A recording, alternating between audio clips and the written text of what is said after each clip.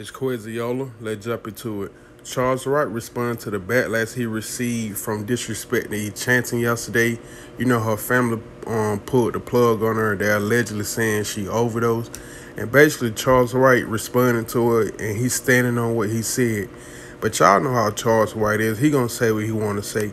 But I'm finna share with y'all his response. In the meantime, can y'all please hit that like button and subscribe to my channel. I'm out.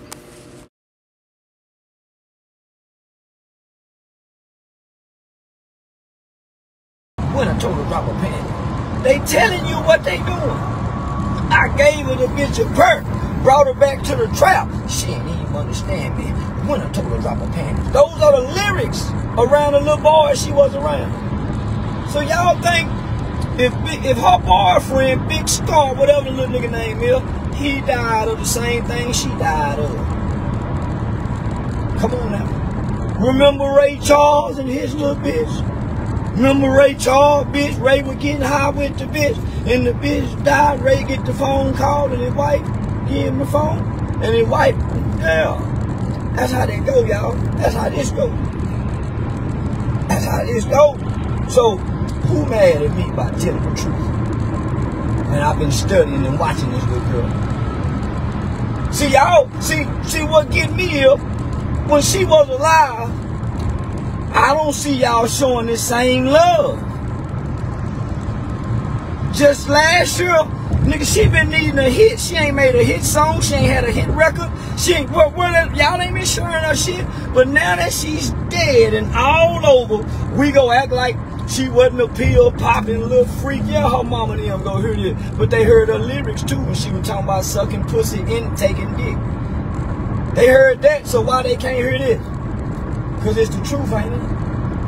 Motherfucker want me to muzzle my mouth for the truth. I don't know how to. Yeah, no, I don't know how to. Yeah, I don't know how to, nigga. When I think it, I say it. As you get my ass whooped as a kid.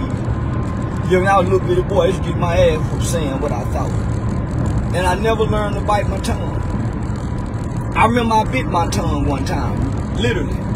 It hurt like a ball, and I bit the tip of it it started bleeding. So when I heard people say, I don't bite my tongue, and I found out what not biting your tongue meant, no, I don't bite my tongue no more. I did once and I was a little boy and I made it bleed. So I don't bite nothing on me. Don't hurt nothing on me, nigga. so I don't give a fuck who mad. Ain't nobody gonna do nothing. Don't nobody wanna die behind me talking. Already been through. So nobody want to die behind me talking. so, uh, and I just want to make it clear, and plain and clear. I don't give a fuck about a dope fiend. I had dope fiend and dope fiend grandmama, and I didn't like them because my mama used to help their kids. So I don't like dope fiends.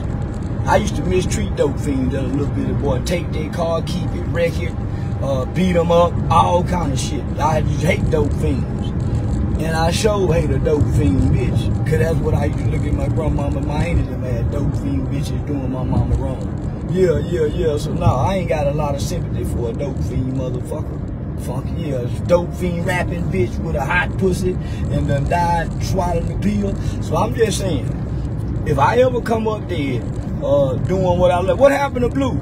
Man, nigga died at the strip club. Then they bombed the strip club.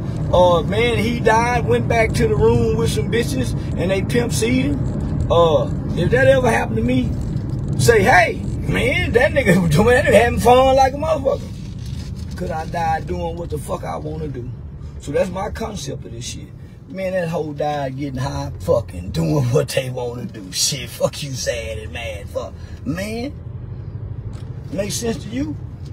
Might not, but it makes sense to me. So fuck you.